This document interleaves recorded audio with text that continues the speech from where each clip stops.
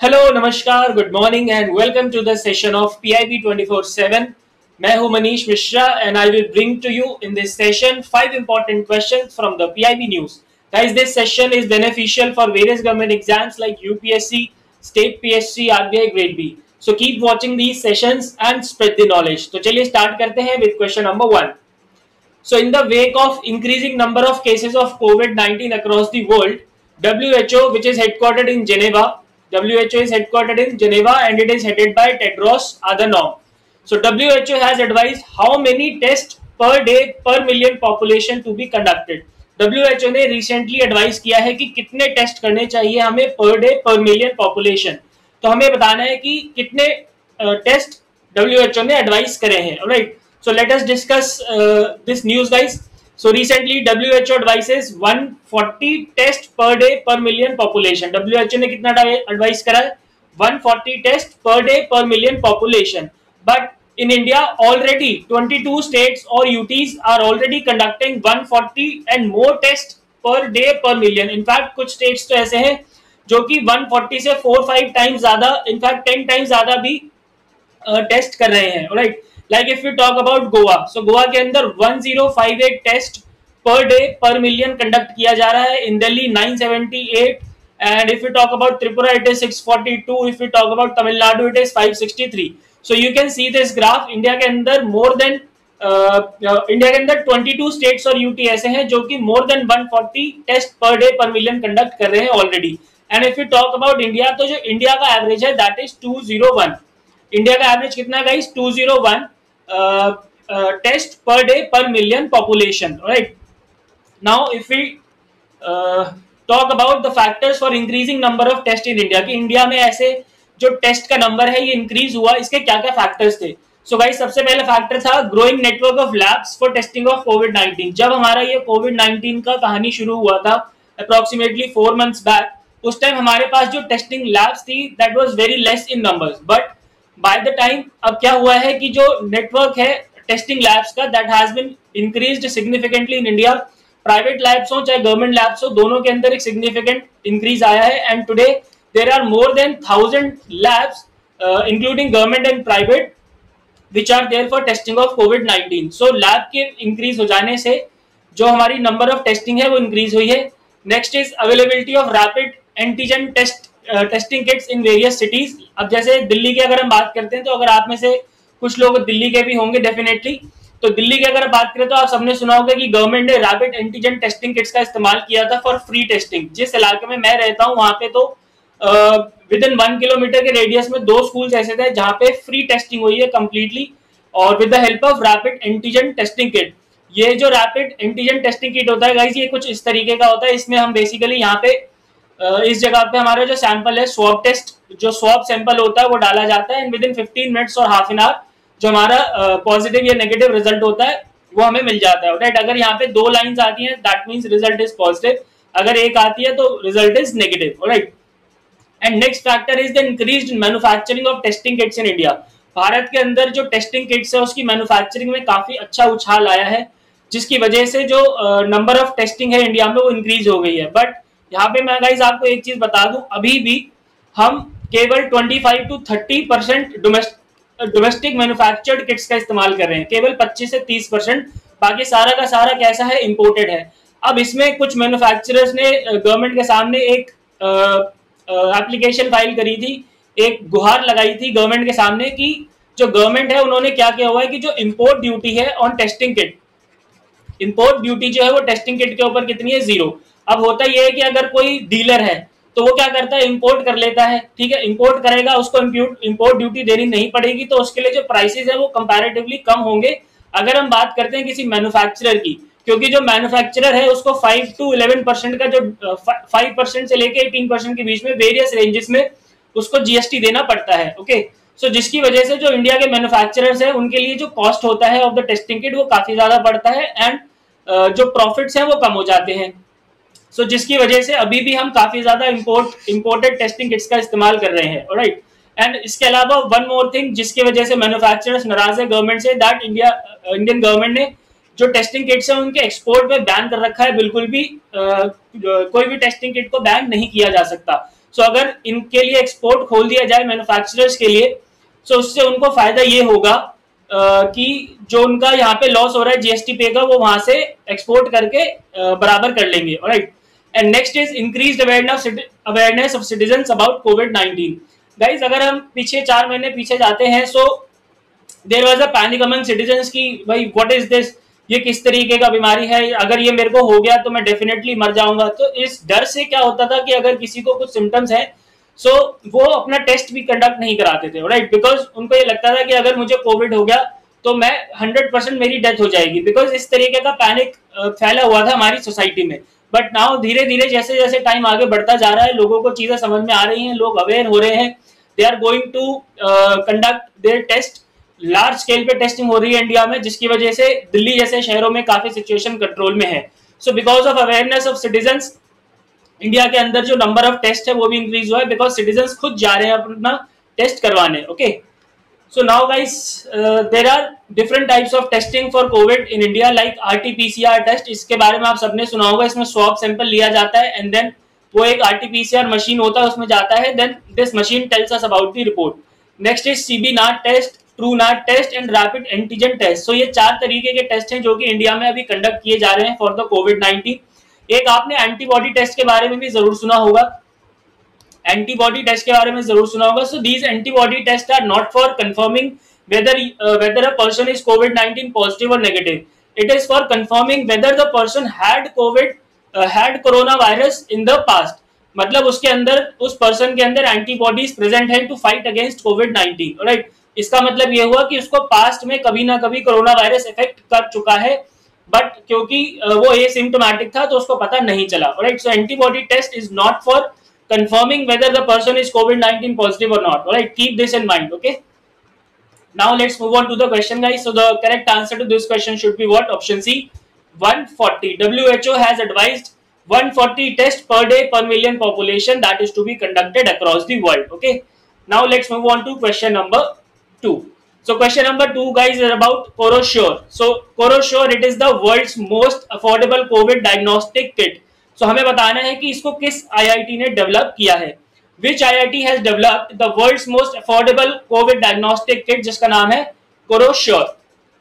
so now let us discuss this so recently guys HRD minister which is who is mister Ramesh Pokhriyal Nishank his Lok Sabha constituency is Haridwar Haridwar is in Uttarakhand alright so he E launch the world's most affordable RTPCR based COVID 19 diagnostic kit जिसको launch किया गया है, जिसको develop किया गया है by the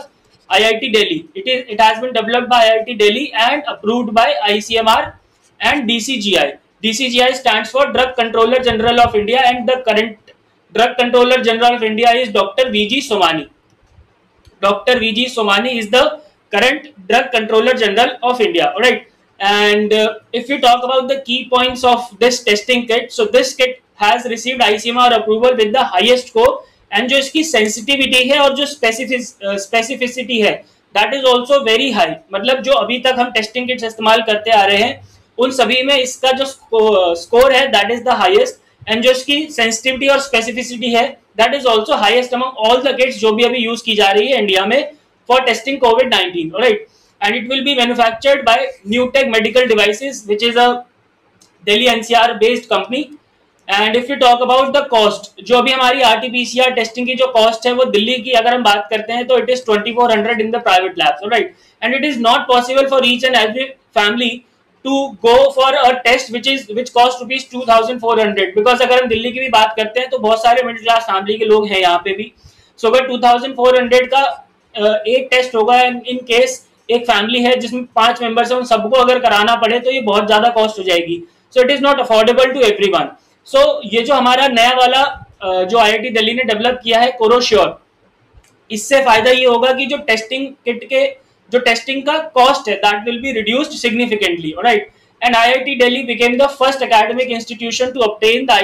approval for a real time PCR based diagnostic test IIT Delhi पहला ऐसा इंस्टीट्यूट है जिसको आईसीएमआर का अप्रूवल मिला है इस R T P C R test को टेस्टिंग किट को बनाने के लिए right now what will be the benefits तो गाइड एक बेनिफिट तो मैंने आपको ऑलरेडी बता दिया कि the kit will be very cheap and it will be reliable because इसकी सेंसिटिविटी इसकी स्पेसिटिविटी बहुत ज़्यादा है। Next is it will promote the call of being self reliant जो प्रधानमंत्री ने आत्मनिर्भर का कॉल दिया था। एंड इनफैक्ट जो वोकल फॉर लोकल को भी ये सपोर्ट करेगा, जो हमारे प्राइम मिनिस्टर ने कॉल दिया था वोकल फॉर लोकल तो हमारे ये डोमेस्टिक डोमेस्टिकली मैन्युफैक्चर्ड होगा तो obviously it will support vocal for local campaign and also it will reduce the dependency और इम्पोर्ट फॉर टेस्टिंग किट जैसा कि मैंने अभी आपको बताया था कि अप्रोक्सीमेटली 75 परसेंट टेस्टिंग किट्स हम अभी भी इंपोर्ट कर रहे हैं। सो so, जिससे कि हमारी जो uh, जो हमारा वो होता है जो बैलेंस होता है गाइज़ दैट एक्सपोर्ट इंपोर्ट का जो बैलेंस होता है that will be that is disturb so उसको बैलेंस करने के लिए हमें uh, खुद की जो किट्स uh, है उनको मैन्युफैक्चर करना पड़ेगा ताकि जो हमारी डिपेंडेंसी है इम्पोर्ट्स के ऊपर, उसको कम किया जा सके right now let's move on to the question so guys therefore the correct answer should be what option C I I T Delhi I I T Delhi is the correct answer now let's move on to okay so let's talk about DCGI first so DCGI guys it is a department of C D S CO and it is responsible for approval of licenses of some drugs कुछ drugs के licences का approval देता है and it works under Ministry of Health and Family Welfare, which is headed by Dr. Harshvardhan. And current Drug Controller General of India is Dr. VG Somani. Okay, now let's move on to question number three. So, guys, recently India Energy Modeling Forum was launched in the group meeting of the Sustainable Growth Pillar of India, uh, USA Strategic Energy Partnership. This pillar is co-chaired by so recently India US Strategic Energy Partnership का जो Sustainable Growth Pillar है उसकी group meeting हुई, उसके अंदर India energy modelling forum को launch किया गया। तो हमें यह बताना है कि ये जो पिलर है सस्टेनेबल ग्रोथ पिलर इसको को चेयर कौन करता है? Okay so now let's discuss this so recently India energy modeling forum was launch in the group meeting of sustainable growth pillar of the US India strategic energy partnership guys this India US strategic energy partnership was launch और we can say was formally announce in the two thousand and seventies while the visit of Prime Minister of India to US. जब हमारे prime minister US गए थे 2017 में तो उसी समय इसको formally announce किया गया था। और जो सस्टेनेबल ग्रोथ पिलर है, वो इसका एक इंपॉर्टेंट पिलर है and it is co chair by NITI Aayog and US add NITI Aayog और यूएस एड द्वारा इसको को चेयर किया जाता है। And guys there are other three pillars also for this like for example there are three more pillars oil and gas power and next is renewable energy so in total there are four pillars of US India strategic energy partnership. One is sustainable growth pillar, other is oil and gas, next is power, and next is renewable energy. So these are the four pillars of India-US strategic energy partnership, right? Now, what are the key activity key activities under sustainable growth pillar जो हमारा sustainable growth pillar है उसके अंदर की activities क्या क्या है number one is energy data management guys energy का डेटा मैनेजमेंट काफ़ी ज़्यादा ज़रूरी है बिकॉज़ जो एक एक्यूरेट एक रिलायबल और एक एफिशिएंट डेटा होता है that is necessary for analysis research and development and in fact policy formulation के लिए भी काफ़ी ज़रूरी होता है right so we have to manage our data of energy. Next is energy modelling so energy modelling में बेसिकली क्या होता है कि जो एनर्जी सिस्टम होता है, उसका मॉडल बनाया जाता है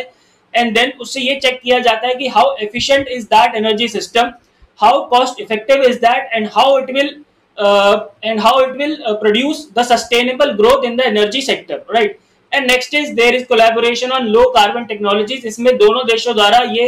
देखा जाता है कि किस तरीके से जो कार्बन एमिशन है उसको कम किया जाए और किस तरीके से नेट ज़ीरो कार्बन एमिशन की टूवर्ड्स हम आगे बढ़े right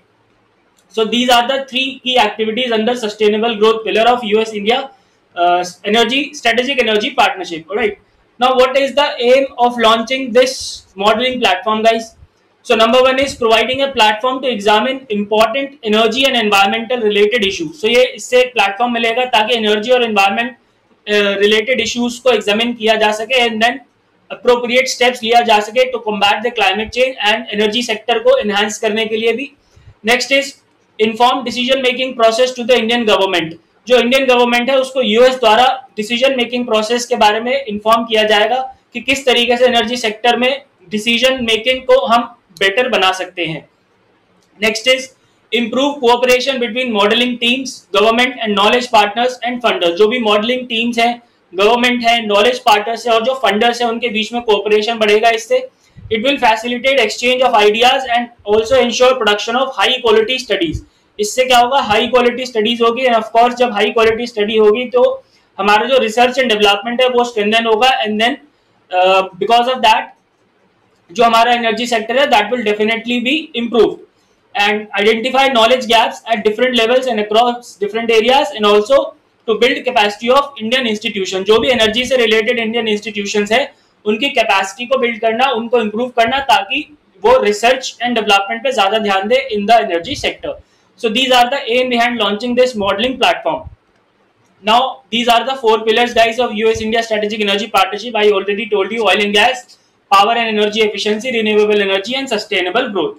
All right, so now let's move on to the question. So the question was, uh, Sustainable Growth Pillar of India-US Strategic Energy Partnership is co-chaired by. So guys, I uh, we have discussed this. So this is co-chaired by Niti Ayog and USA.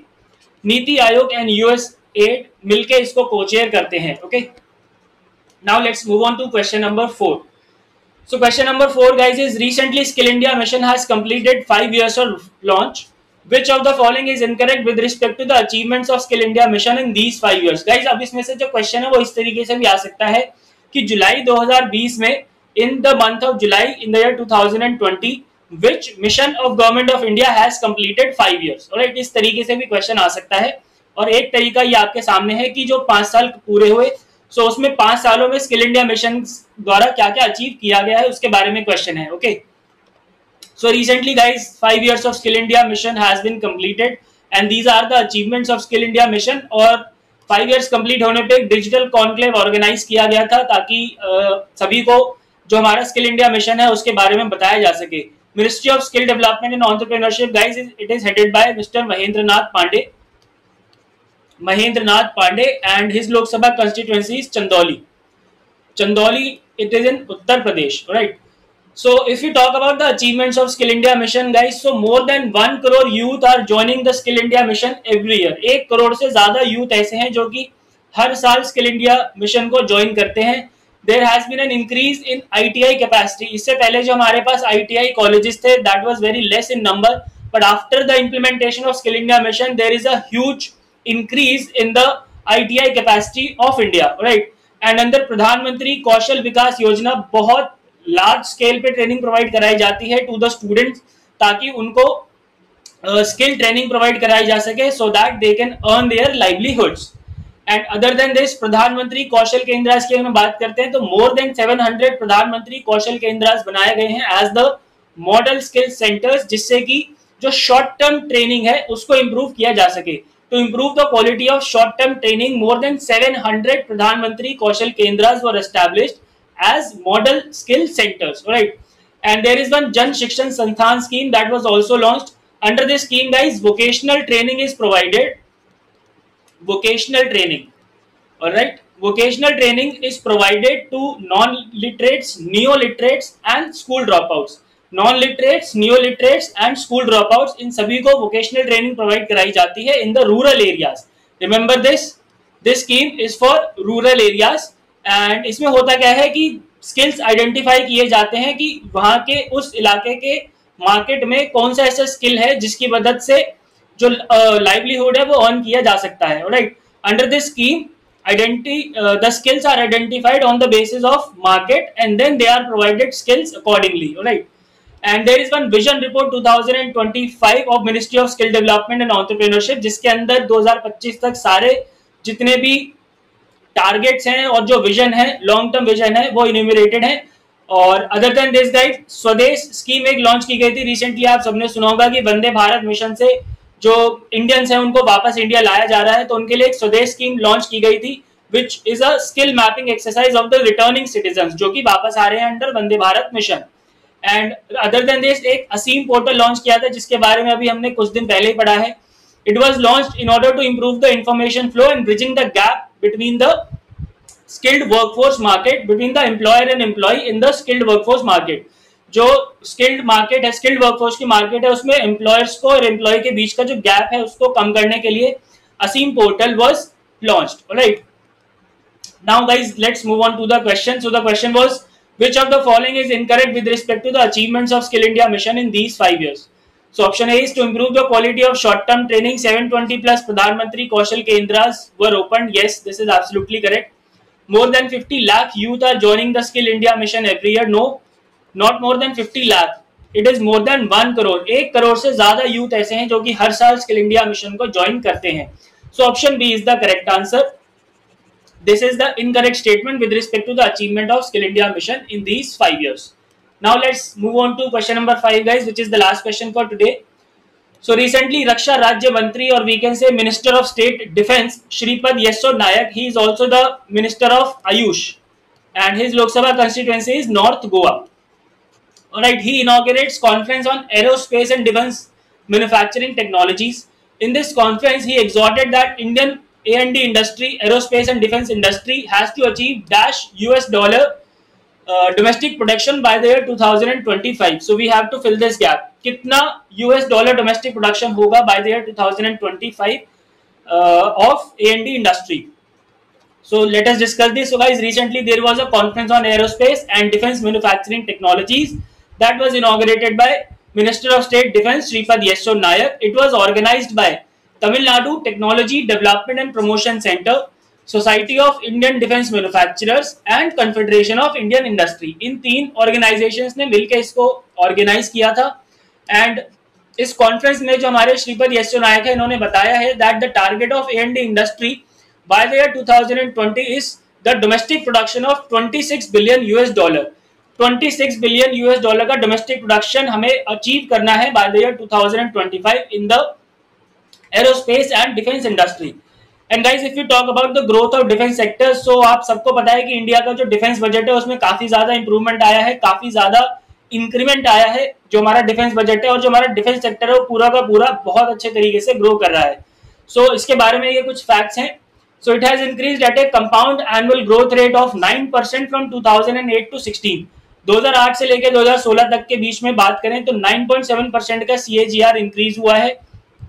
और जो इसका growth है that is estimated to be 70 billion dollar यानी कि जो 70 billion dollar है, उसकी domestic production होगी by the year 2030 in the defence sector और अगर हम सिविल एविएशन मार्केट की बात करते हैं तो भाई उसके अंदर 1.83 बिलियन यूएस डॉलर का इन्वेस्टमेंट होगा in the airport infrastructure by the year 2026 this fact is not very important but yes अगर आपको याद हो जाता है then that is very good and if you talk about the Indian MRO market MRO stand for maintenance repair and overall so this market is growing at about eight percent annually लेकिन जो पूरी दुनिया का average है that is only four percent so अगर पूरी दुनिया के एवरेज के हिसाब से हम देखें so we are growing it growing at a double rate that is eight percent in the MRO market right guys जो एमआरओ मार्केट थी that was worth 800 million dollars in the year 2011 but by the end of 2020 it is estimated that it has it will increase to 1.45 billion dollars तक ये पहुंच जाएगा right so जो हमारा MRO market है that is also growing significantly okay now let's move on to the question guys so question number 5 was uh, he exhorted that indian A&D industry has to achieve dash us dollar domestic production so it, the correct answer will be what option b 26 billion dollar का domestic production है, वो हमें achieve करना है by the year 2025 right now guys there is one more information एक important news और है but इसको हमें ज़्यादा डिटेल में पढ़ने की ज़रूरत नहीं है। बस आप इसके लिए एक बार, एक चीज़ जान सकते हैं कि जो हमारा कॉयर और कॉयर प्रोडक्ट्स होते हैं कॉयर जो होता है गाइस वो कोकोनट के छिलके से बनता है।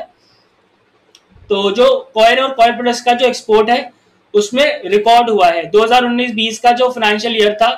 has registered an all time high record which is around 30 crore higher than the previous year 2019-20 का जो फाइनेंशियल ईयर था, उसमें कॉयर और कॉयर प्रोडक्ट्स का जो एक्सपोर्ट था that was record high okay और ये आप देख सकते हैं, ये कॉयर का मैट है, ये आप सबने देखा होगा, घरों में होता है स्कूल्स में भी होता है, किसी और कॉलेज वगैरह में भी यूज़ किया जाता है okay so guys that's it for the session today I hope you like it आपको सेशन कैसा लगा प्लीज़ कमेंट करके ज़रूर बताएँ, और अगर कोई डाउट्स हैं तो भी पूछ सकते हैं। Thank you so much for watching. Goodbye, take care and God bless.